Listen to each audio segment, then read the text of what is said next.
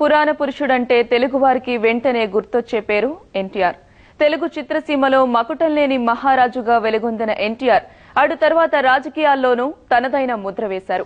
Kilo రె- kilo రెండు రూపాయల బియ్యం జనతా వస్త్రాల పంపిణీ మద్యపాన నిషేధం వంటి అంశాలతో ప్రజలకు మరింత చేరువయ్యారు. ఆ మహానాయకుడి ఎనభై తొమ్మిదవ జయంతి ఇవాళ.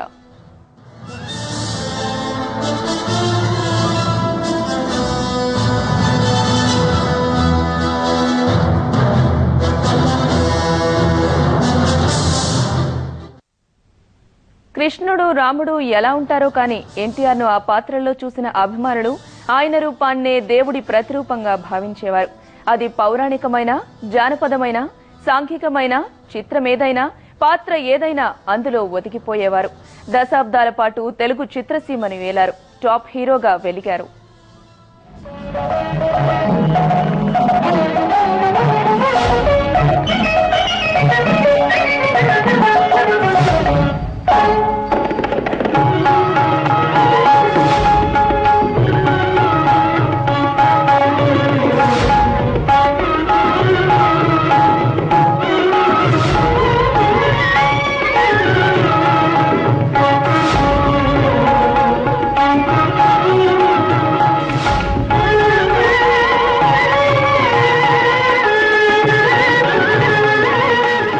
సింహం లాంటి నడక మాటల్లో గాంభీర్యం నవ్వులోనూ రాజసం కురిపించడం ఒక్క ఎన్టీ రామారావుకే సొంతం.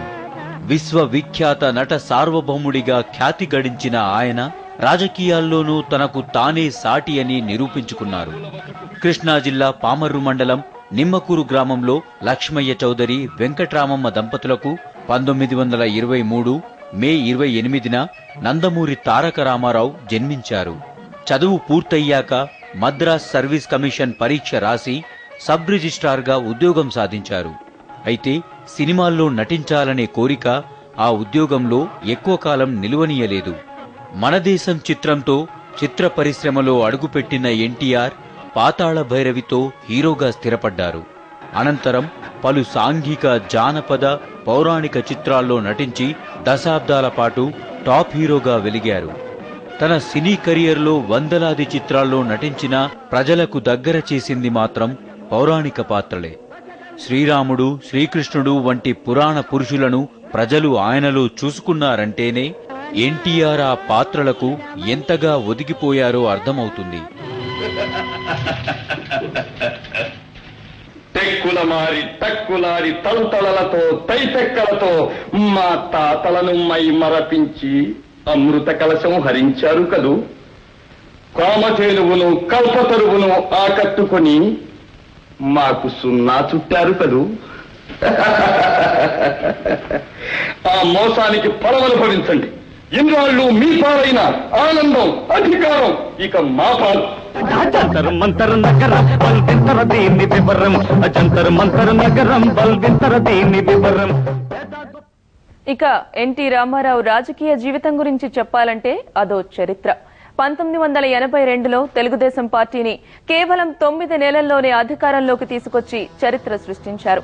అప్పటి వరకు ఎదురులేని కాంగ్రెస్ పార్టీని కూకటి వేళ్ళతో పెకిలించి వేశారు. తెలుగువాడి ఆత్మగౌరవ నినాదంతో అధికారంలోకి వచ్చిన ఎన్టీఆర్ ప్రభుత్వ పాలనలో విప్లవాత్మక మార్పులు తెచ్చారు. రాష్ట్రానికే పరిమితంగాక అటు దేశ రాజకీయాల్లోనూ ఆయన తనదైన ముద్ర వేశారు. నేషనల్ ఫ్రంట్ కన్వీనర్గా వ్యవహరించారు.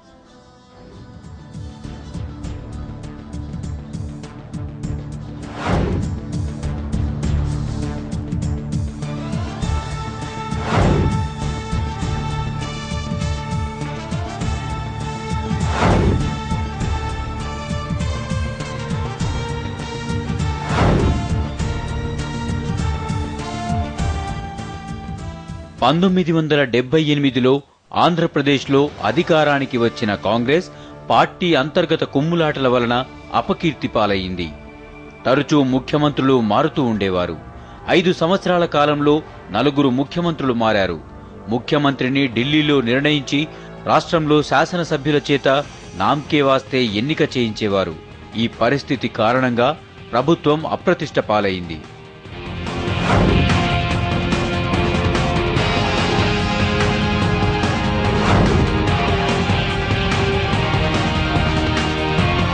ఆ సమయంలో అంటే పంతొమ్మిది వందల ఎనభై ఒకటిలో ఊటీలో సర్దార్ పాపారాయుడు చిత్రం షూటింగ్ జరుగుతోంది.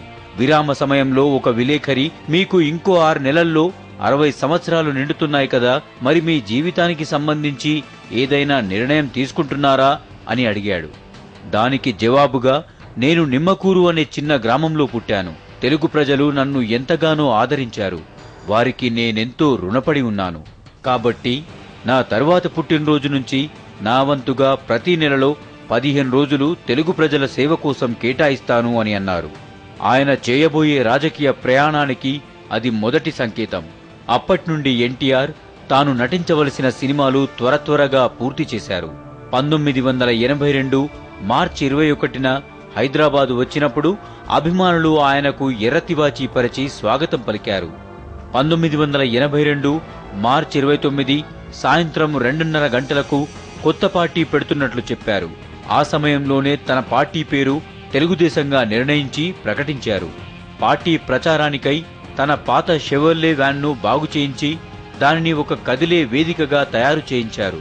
దానిపై నుండే ఆయన రాజకీయ ప్రసంగాలు చేసేవారు. దానికాయన చైతన్య రథం అని పేరు పెట్టారు. ఆ రథంపై తెలుగుదేశం పిలుస్తోంది రా. కదలిరా అనే నినాదం రాయించారు. ఆ తరువాతి కాలంలో భారత రాజకీయాల్లో పరిగెత్తిన ఎన్నో రథాలకు ఈ చైతన్య రథమే స్ఫూర్తి.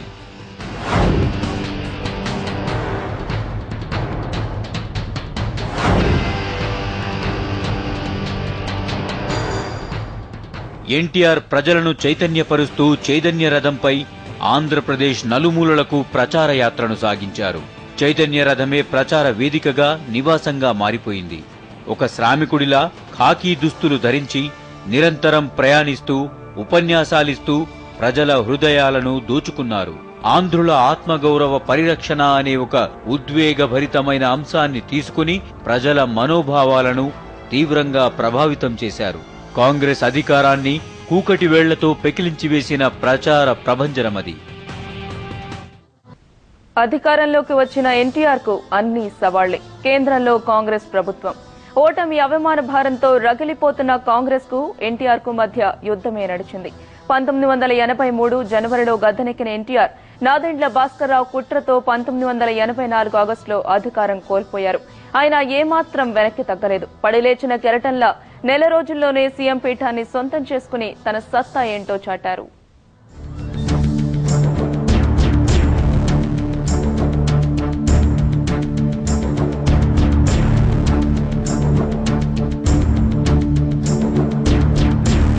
పంతొమ్మిది వందల డెబ్బైలలో ఎదుర్కొన్న చిన్నపాటి ఒడిదుడుకులు తప్పించి ఎన్టీఆర్ సినిమా జీవితం విజయవంతంగా అప్రతిహతంగా సాగిపోయింది. అయితే ఆయన రాజకీయ జీవితం అలా నల్లేరుపై నడకలా సాగలేదు. అద్భుతమైన విజయాలకు అవమానకరమైన అపజయాలకు మధ్య ఊగిసలాడింది. ఎన్నికల ప్రచార సమయంలో ఎన్టీఆర్ కాంగ్రెస్ నాయకులపై చేసిన ఆరోపణల కారణంగానూ ఎన్నికల్లో తెలుగుదేశం చేతిలో కాంగ్రెస్ పొందిన దారుణ పరాభవం వల్లను ఆ రెండు పార్టీల మధ్య వైరిభావం పెరిగింది. రాజకీయ పార్టీల మధ్య ఉండే ప్రత్యర్థి భావన కాక శత్రుత్వ భావన నెలకొంది.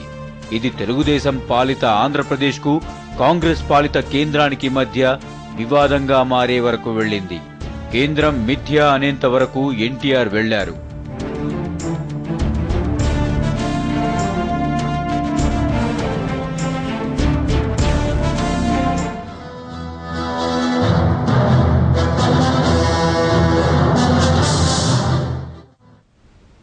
పంతొమ్మిది వందల ఎనభై తొమ్మిదిలో అధికారాన్ని చేజార్చుకున్న ఎన్టీఆర్ అసెంబ్లీ లోపల బయట ఎన్నో పరాభవాలను చడి- చవిచూడాల్సి వచ్చింది. లక్ష్మీ పార్వతితో పెళ్ళి ఆయన జీవితాన్నే మార్చేసింది. పంతొమ్మిది వందల తొంభై నాలుగులో మళ్ళీ అధికారంలోకి వచ్చిన కుటుంబంలో కలతలు పార్టీలో తిరుగుబాటు కొంగతీసింది. చివరకు అధికారాన్ని పోగొట్టుకుని గుండెపోటుతో మరణించారు.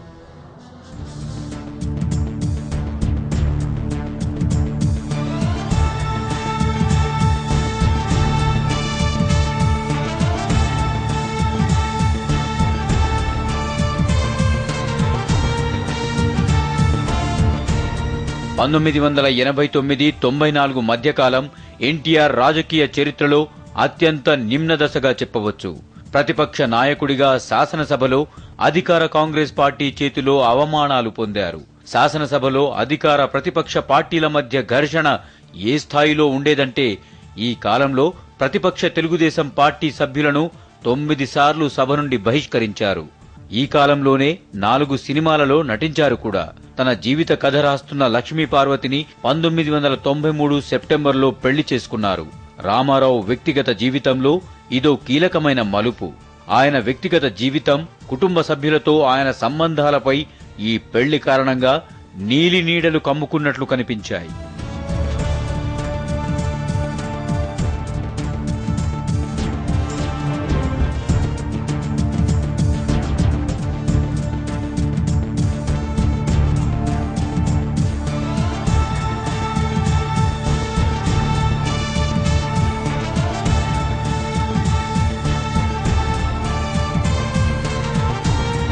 పంతొమ్మిది వందల తొంభై నాలుగులో కిలో బియ్యం రెండు రూపాయలు సంపూర్ణ మద్య నిషేధం వంటి హామీలతో మునుపెన్నడూ ఏ పార్టీ కూడా సాధించరన్ని స్థానాలు గెలిచి మళ్ళీ అధికారంలోకి వచ్చారు. ప్రభుత్వ ఖజానాకు ఎంత భారం పడినా కూడా ఎన్టీఆర్ తన హామీలను అమలుపరిచారు. అయితే లక్ష్మీ పార్వతితో వివాహం తరువాత పార్టీలో ప్రముఖులు అభద్రతాభావాన్ని ఎదుర్కొన్నారు. పార్టీలో ముదిరిన సంక్షోభానికి పరాకాష్ఠగా ఆయన అల్లుడు ఆనాటి మంత్రి అయిన నారా చంద్రబాబు నాయుడు తిరుగుబాటు చేశారు. అంతటితో ఎన్టీఆర్ రాజకీయ జీవితం ముగిసినట్లయింది. అనతి కాలంలోనే పంతొమ్మిది వందల తొంభై ఆరు జనవరి పద్దెనిమిదిన డెబ్బై మూడు సంవత్సరాల వయసులో గుండెపోటుతో ఎన్టీఆర్ మరణించారు. ముప్పై మూడేళ్ళ తెర జీవితంలోనూ పదమూడేళ్ళ రాజకీయ జీవితంలోనూ నాయకుడిగా ఓ వెలుగు వెలిగారు నందమూరి తారక రామారావు.